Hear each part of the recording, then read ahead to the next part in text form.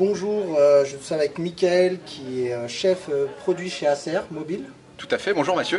Bonjour, et qui va nous présenter le Acer Liquid S1 qui a été présenté euh, à Taïwan au Computex. Tout à fait. Alors sur ce produit, euh, nous avons un écran 5,7 pouces haute définition en 720p, euh, ce qui nous donne une excellente qualité d'écran comme on peut le voir ici. On a également en termes de puissance un processeur quad-core euh, 1,5 Go.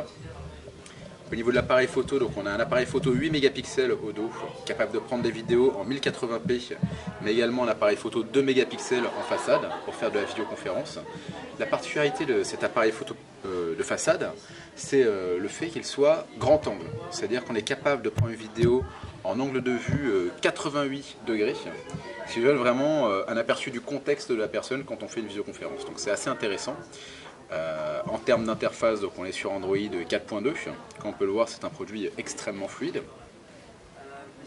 Et Acer a fait bien sûr euh, des petites améliorations sur le produit en termes de software, comme le fameux Float App.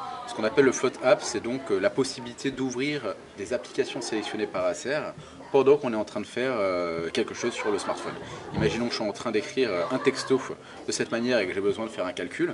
Je vais simplement rester appuyé ici sur cette touche pour ouvrir ici mon panneau des Float Apps.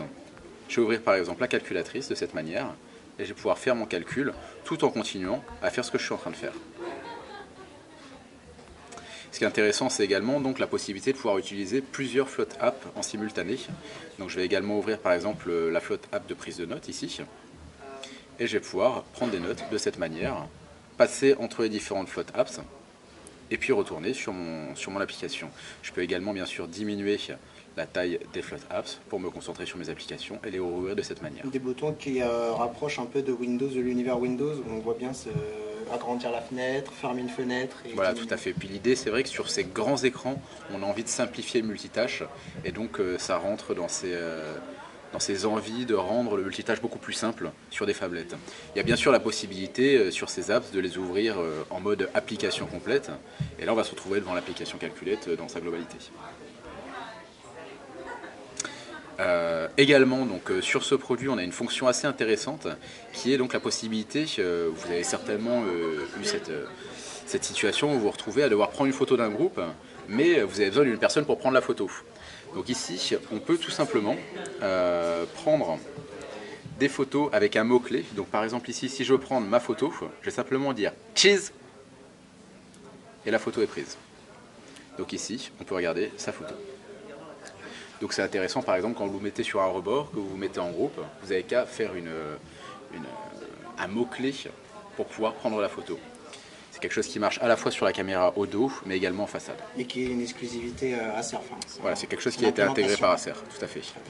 Euh, donc sur ce produit, encore une fois, c'est un produit extrêmement compact et bien fini. On peut le voir, euh, c'est un produit fin, avec notamment des petites touches d'aluminium sur les côtés. Euh, on apprécie aussi le côté soft touch au dos, qui apporte une vraie prise en main. Euh, et également donc, le partenariat d'Acer avec la norme DTS, qui permet de profiter d'une excellente qualité sonore. La dernière chose sur laquelle je voudrais euh, insister sur le produit, c'est bien sûr sa capacité, comme de nombreux smartphones Acer, à recevoir deux cartes SIM. Donc c'est une fonctionnalité qui va non seulement plaire aux professionnels, mais également aux frontaliers ou euh, à toute autre personne qui aurait besoin euh, de mettre deux cartes SIM dans son smartphone. D'accord. Euh, une sortie pour le marché français avec un prix Alors au niveau de la date de sortie, c'est un produit qui devrait sortir euh, mi-août pour un prix euh, inférieur à 350 euros.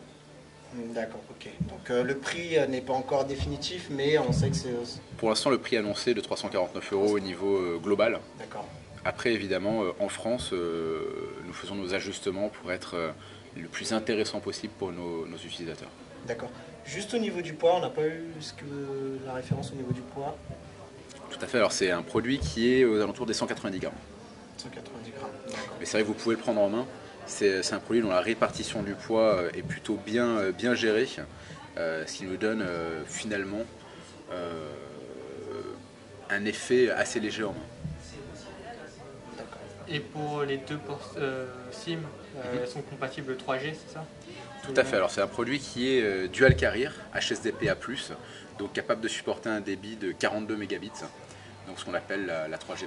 D'accord. Sur les deux cartes SIM, parce que certains modèles sont juste 2G, d'autres 3G. Euh, alors, ce qu'il faut savoir, c'est que dans la gestion du dual SIM, dans tous les cas, le smartphone va régulièrement récupérer des infos par Internet.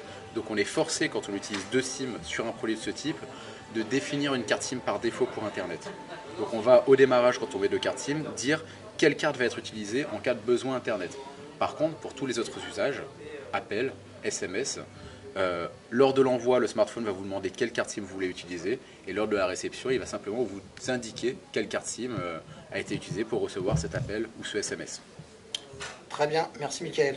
Merci Mathieu.